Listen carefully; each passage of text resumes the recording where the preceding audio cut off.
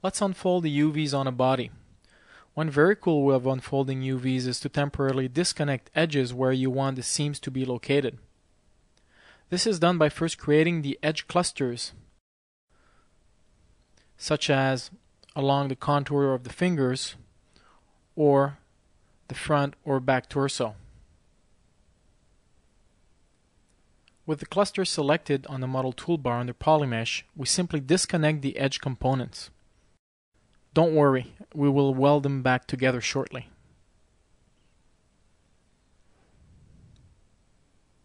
Now, we can assign a unique UV projection. We'll keep this property editor open, lock it, and open the texture editor by pressing Alt 7. By specifying an angle value in the property editor, UVs will be separated if the adjacent polygon's angle exceed that value. We'll increase it to 90 degrees, which means that only polys and sharp peaks and valleys will be separated. The other pieces are the ones we defined earlier. The smooth slider will reduce the angle value between polygon UVs, similar to when using the smooth tool for polymeshes to flatten the surface. This will reduce the number of UV pieces in the texture editor. All the leftover UV tiny bits can be reattached individually to any UVs with which they share a vertex. But first, let's make sure that the auto sync option is activated in the preferences.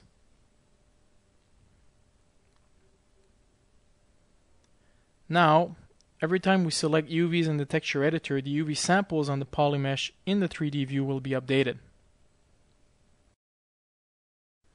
The first UVs we select belong to the tip of a finger.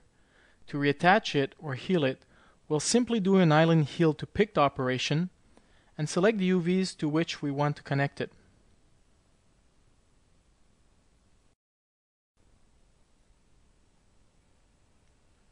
At least one of the target UVs must share a vertex with the UVs we are healing.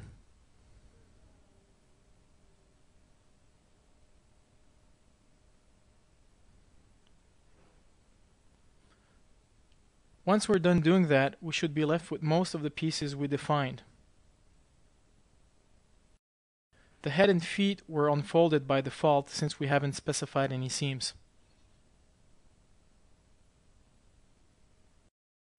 At any time you can modify UV subsets by applying any of the available subprojections, which will keep the result in the same UV dataset. Let's apply a cylindrical subprojection to properly unfold the head. The best fit option positions the texture support according to the average normal orientation of the UVs to avoid distortion of the texture. Since we don't want to create a texture seam in the middle of the face, we will rotate the texture support and the new UV position will be reflected in the texture editor.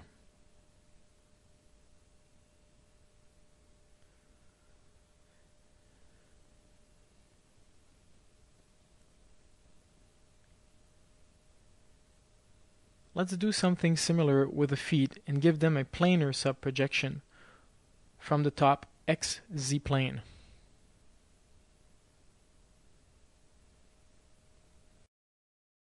Since both feet will use the same texture area, we will overlap the UVs of one foot onto the other.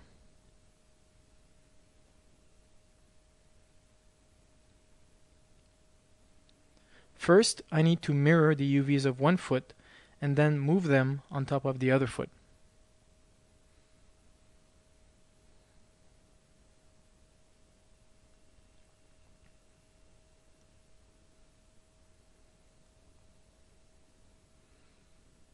It doesn't have to be perfectly aligned because we will use the match tool which will snap the selected UVs to the underlying unselected one.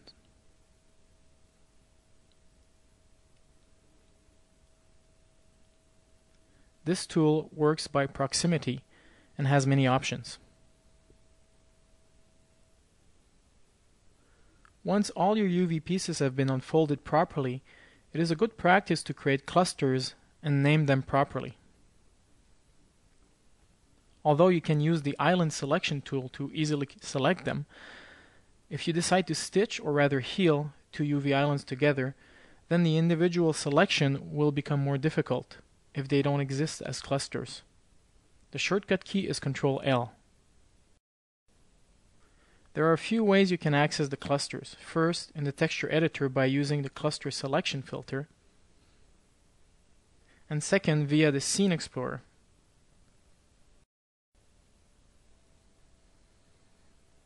And finally, you can also access them by clicking on the cluster button in the main control area.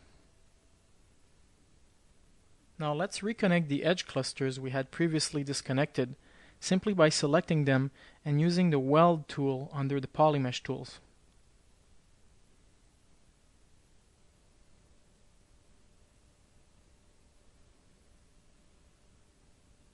The texture editor now displays the UV edge highlights, which basically shows which UV edges match together in case we need to heal them for texture continuity.